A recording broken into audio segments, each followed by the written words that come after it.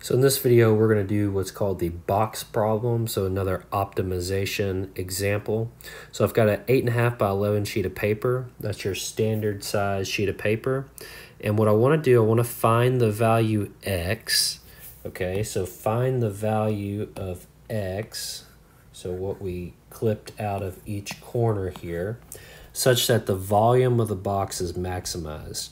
So what do I mean by that? If I fold up these sides here, it creates like a like a box type thing going on. Try my best to be artistic here. So it would create this hollow box here, right? Oh man, I'm being a little bit too artistic here, but you get you get what I'm trying to say.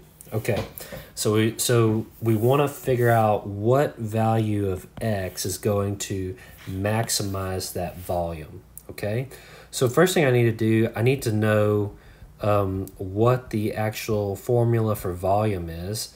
For volume is uh, base times width times height. Okay, so we already know that the height here is going to be x. Okay, we just need to figure out how we're going to define the base and the width in terms of x. So all these corners here, like I said, we're cutting off x amount, okay? So that when we fold it up, it will be a um, height of x on each side. Now, what do we know? It's an 8.5 by 11 sheet of paper, right? So the entire length here is eight and a half, and the entire length here is eight and a half. The only problem is we don't have the entire length there, do we? So how do we figure out, so once again, the x is your height.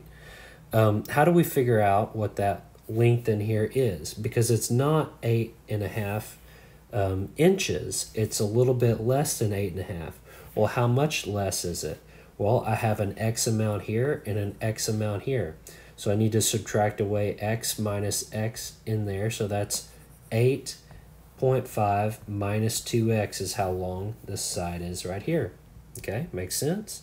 Now, the whole side here is 11, but if the whole thing is 11 and I need to take off an x here and an x here, what do I do to 11? I subtract 2x from 11. So this side here is 11 minus 2x and um, this side here is 8x minus or 8.5 minus 2x okay?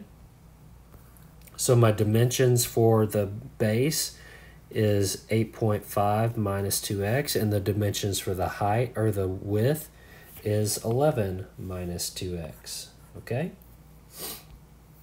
So now I just need to multiply this out. So distribute uh, these first two here, uh, you can use uh, FOIL or double distribute, however you like to call it. And then once you distribute that, add a power of x to each term. And you're going to get 4x cubed minus 39x squared plus 93.5x. Okay?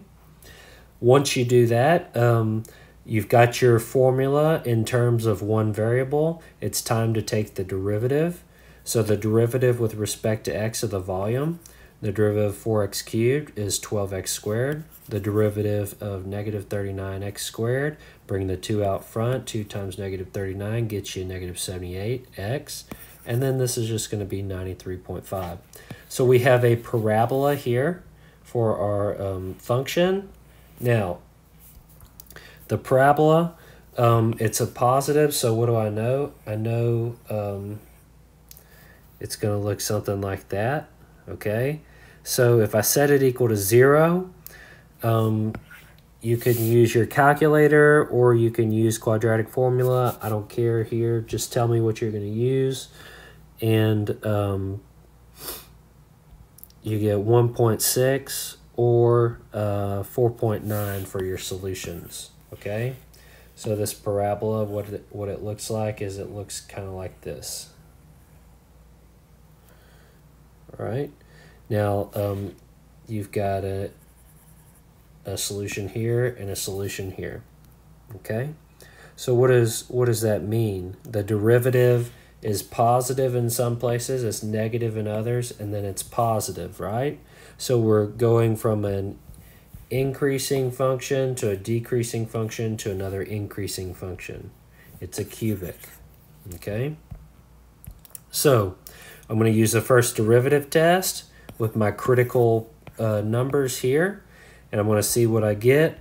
And if I plug in to my derivative, so pick a point, maybe if I pick x equal to 0, then v prime of 0 gets me 0, 0, and then positive. So that's a positive number. A positive number produces an increasing situation here.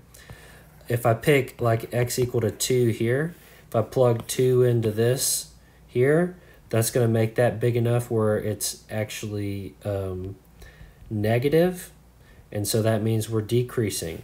So by the first derivative test, what do we know? We go from increasing to decreasing, so what do I have here at 1.6? I have a relative maximum. Why do I know that? Because um, this is a, uh, a cubic, which is defined as a polynomial for all real numbers. So that means that 1.6 is actually something I can plug into the uh, function, and therefore a relative max exists. Now, I know that uh, we're going downhill on this interval, but if I plug in like x equal to, I don't know, 20, that's going to get really big really fast, right? So this term, this negative term here isn't going to be stronger than that term is. So that's going to be positive there. And you can plug in yourself a number that's greater than 4.9, and you'll see that you get a positive derivative. So that means that we're increasing there. So we go from decreasing to increasing, which happens to be a relative minimum. Okay, so now what we need to do, we need to test these values here. Because what are we trying to do? We're trying to maximize the area. We're not trying to minimize the area, right? So just based off of the first derivative test, I know that this is probably going to work. But we need to make sure that the values actually work, okay? So let's look at this one for a second, 4.9. So if x was equal to 4.9, what would that mean that this side would have to be? Well, if I plug a 4.9 in, um, guess what? Negative 2 times 4.9 is going to be a negative number that's bigger than this, which actually makes this side negative. Can I have a negative side here? There's no such thing as negative distance. That doesn't even make sense. If I solve this inequality here for x, I get x is in the realm from 0, got to be something greater than 0 but less than 4.25. So it's actually impossible to have a side um, here, an x value that's bigger than 4.25, okay? So um, if you had an x value bigger than 4.25, then what it's saying is it would actually extend out more than half of the distance right there, okay? And if you extend out more than half this way and more than half this way, then you're actually talking about a negative distance now. So this tells me that negative 4.9 can't even be a real solution. It doesn't even make sense, okay? Now what about 1.6? 1.6, when I plug this in, see I already know it's a relative max by the first derivative test. If I plug in a 1.6 here, okay, so I have 11 minus 2 times 1.6, and I have a 1.6, and then I have an 8.5 minus 2 times 1.6, okay? So if I do all that math there, I'm going to get three dimensions that whenever I multiply it out, that's going to get me 66.144, okay? So if I wanted to, I could I could actually do this in my calculator. Um, let's try it. So